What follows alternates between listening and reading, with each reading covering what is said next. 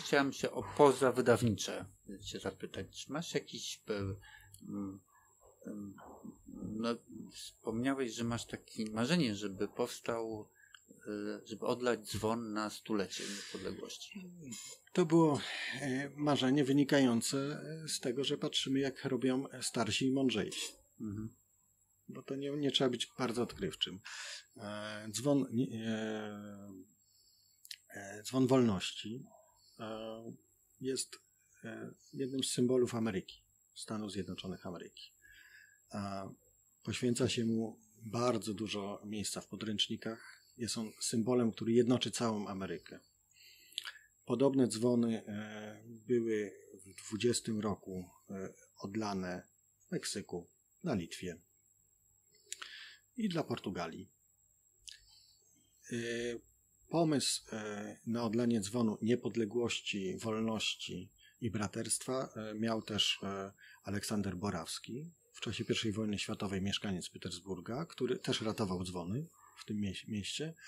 Był to konserwator e, dzieł sztuki i rzeźbiarz. I takie trzy dzwony powstały na wystawę światową w Nowym Jorku w roku 1939. E, po wybuchu wojny część e, eksponatów przygotowanych na tą znakomitą wystawę, znakomicie pokazującą siłę siłę Polski. Tak? Propagandowo to był majstersztyk, można powiedzieć, ten, ten pawilon polski. E, prawdopodobnie dwa dzwony są zachowane i szczęśliwie znajdują się na terenie Polski. Tak? Być może jeden nawet na terenie Warszawy. Pewne opóźnienie związane z, z tym, że doznałem kontuzji nogi, nie pozwala mi eksplorować yy, tych dwóch miejsc, w których mam przekaz e, ustny od osób, które pamiętają rok 1947 i przywiezienie jednego z przynajmniej z tych dzwonów, być może dwóch, ale nie umiem e, roz, e, rozdzielić tej relacji. I być może dzwon niepodległości dzwoni w Warszawie do tej pory nikomu nieznany. Mam nadzieję, że przy następnym spotkaniu będzie można go pokazać.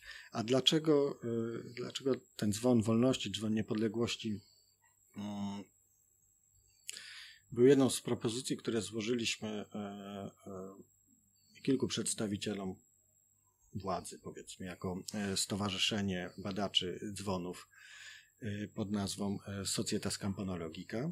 Takie towarzystwo istnieje w Polsce od, od, od kilku miesięcy formalnie. A skąd to ty wiesz? Jestem współzałożycielem tego, tego tej, tej, tej, tego grona, powiedzmy. E, dlatego, że patrząc na duże zaangażowanie władz, czy to państwowych, czy społeczeństwa polskiego w obchody stulecia niepodległości, widzimy, ja dostrzegam, brak symbolu, który zostanie. Oczywiście mamy bardzo atrakcyjne przypinki do klapy marynarek męskich.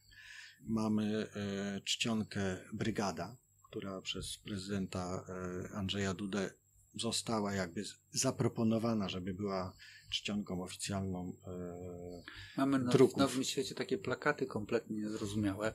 Ja chyba zrobię zdjęcie, e, żeby one tak przetrwały właśnie. Dołożymy plakaty. No, nie zwróciłeś uwagi, bo nawet nie wiesz, że one są też z okazji odzyskania niepodległości na Nowym Świecie. Ale, ale o których mówisz? No takich wiszących. Takie to duże, duże postery kolorowe, tak? tak? To one są yy, no o związkach z Ameryką troszkę tutaj? Nie. Nie, jeszcze nie.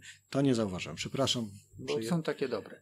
Okay. Jest dużo mnóstwo rzeczy jest robionych, z tym, że one nie mają trwałej wartości i nie są pojedyncze, tak jak dzwon, tak? Ale jak mówię, dzwon dla, dla wioski, mhm. tak? każdy e, mieszkaniec wioski wiedział, który dzwon z tych dwóch, trzech dzwoni, jeżeli to była parafia katolicka.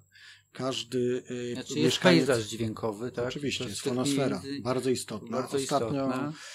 E, deprecjonowana, tak? Czy wręcz są sądowe zakazy dzwonienia, bo to przeszkadza ludziom. Części no. na pewno się zgodzę z tym, że, że może przeszkadzać, ale, ale poprzez wrócę do tego, że utożsamiamy się również z dźwiękiem, tak? z przedmiotem, który ten dźwięk wydaje, dlatego że ma 300 lat, 400 lat. Wszyscy pamiętamy o dzwonie Zygmuncie. Tak? Nawet niektórzy rozpoznają ten dźwięk dzwonu Zygmunta na Wawelu. Wiadomo, że on dzwoni no, w ważnych dzwoni momentach. na buszach, prawda? Ciekawe jak nagrany, czy prawidłowo. Ale w większości wypadków y, ten, ten pejzaż y, fonos, znaczy, tak, on się bardzo został... dobrze kojarzy w popularnej historii, ale w, w, prawym górnym rogu i na szkole nawigatorów to jest takim symbolem jednak tego niezrozumienia mm, sytuacji politycznej owego czasu przez, przez Zygmunta Starego. Że to jest, ale to oddzielny temat. Chętnie zgłębię wtedy, wtedy, tą teorię, ale dobrze, że powstał. Wtedy, gdy się naro narodził, umarło e, Królestwo Węgier, tak? co miało duże konsekwencje dla. Ale dla to jest nas. związane z odlaniem tego nie, instrumentu? Nie, okay. nie. Dobrze, znaczy, okay. trochę jest, no bo. To może ja też. Można było go zmienić na armaty, to nie? Nie, ale jest, tak? Ale jest, jest. i musi być. I... I, I był na pewno symbolem tego miasta, jak mówię, w, w fonosferze wtedy i przez długie lata. A najlepszym dowodem jest na takie postrzeganie dźwięku czy tego dzwonu to, że Zygmunt III Waza, naśladując poprzedniego, poprzednika swojego na tronie, odlał nie mniejszy dzwon Zygmunta w Wilnie, który jego kolei są znane. Fragmenty materii nawet się zachowały po przelaniu. Widziałem je w lutym na terenie Rakiszek.